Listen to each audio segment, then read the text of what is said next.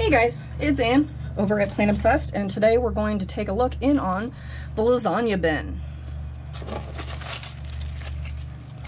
Okay, well, it looks like everything that was the lasagna noodle on top is, is almost completely dead, completely used. So we're gonna have to distribute that and look and see if we have more boxes.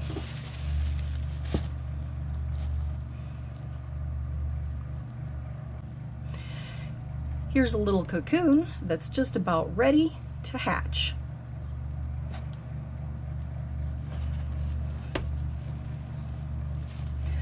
Lots of springtails in here. It's a little bit muddier than usual, and it looks like they've eaten almost all the cardboard.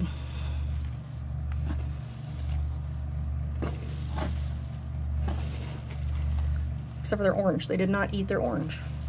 Weird little worm ball in the pocket here. But yeah, I'm having a hard time finding any of the lasagna layers at all in here. This bin is totally full of worms. Look at that. Red wigglers, not probably not African night crawlers. It's chock full of worms. We've got European night crawlers, red wigglers and blue worms in here. And every place I look, there's little cocoons. So as I move all this over, I'm not finding my cardboard layers anywhere. Except for this one layer all the way down on the bottom. So let me put some of the finished castings and worms under there. You can add that to a layer.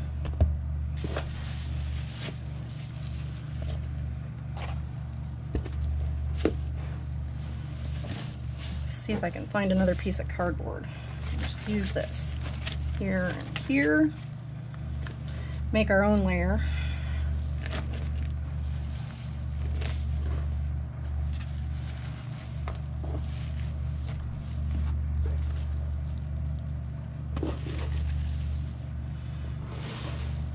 Okay, let's see. Worm ball in the orange. It is definitely squishy. And that is a lot of blue worms there.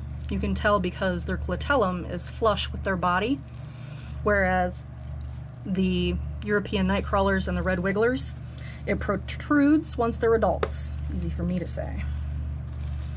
Okay, I am still seeing the one layer of cardboard down at the bottom, the same as on the other side.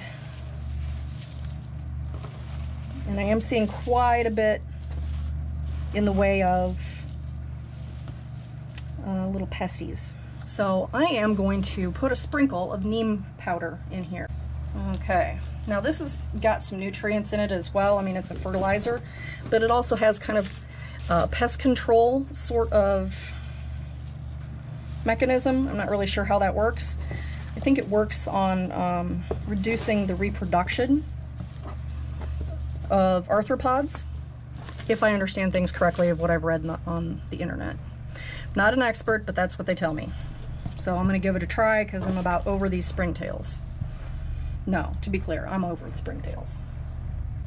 Okay, so here's the next layer of lasagna, or the lasagna bin.